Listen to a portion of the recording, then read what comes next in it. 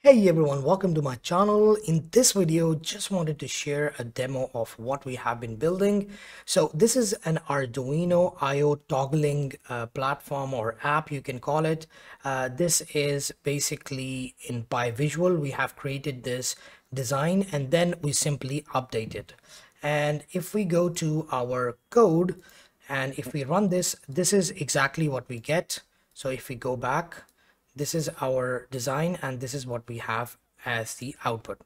Now, the good thing is what we can do is we can click on this and it will turn on and off the actual pin.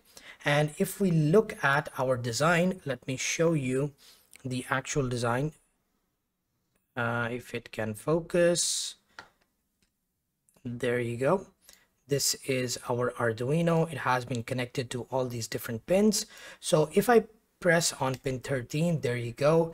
Instantly pin number 13 turns on. And if I let's say turn on pin 8 there you go pin 8 turns on. Uh, let's say pin number 4 there you go that turns on too. And I can toggle between these. And as you can see the light over here also turns on and off because it's receiving the data. So if I click on 3 and then turn it off there you go so basically that's the idea and the good thing is that if I wanted to make any changes, for example, if I wanted to, uh, let's say, add an image or graphics or icon, whatever I wanted, uh, I can simply add it here. And there you go. For example, I've added an arrow, let's say, and if I update my UI and I go back, and, and now if I run it, you will see the arrow is there. So whatever changes you wanted to make, you can simply drag and drop and make those changes. That's how simple it becomes. Uh, with PyVisual, you can even integrate Arduino and create these different projects. So this is our Arduino GUI course. Uh, there's a basic version of this on YouTube. You can go ahead and learn that course. Uh, it's around two hours and it's very intensive in terms of uh, educational content. So you can go ahead and check that out.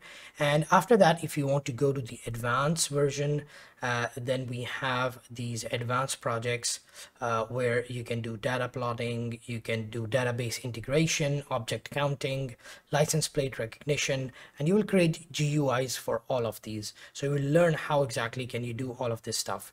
Uh, it's fairly simple and easy to learn just drag and drop and create these amazing graphical interfaces uh, and all this uh, elegant UIs you can create so do check it out uh, it is available for pre-order right now and I believe today is the last day to do that so if you get a chance go ahead and uh, pre-order if you think that is interesting and uh, pretty much if you want to get heads up taste of it go ahead and check out the basic version. It is available on YouTube for free. So do check that out and hopefully you will create some amazing projects out of that. So this is it. I will see you in the next one.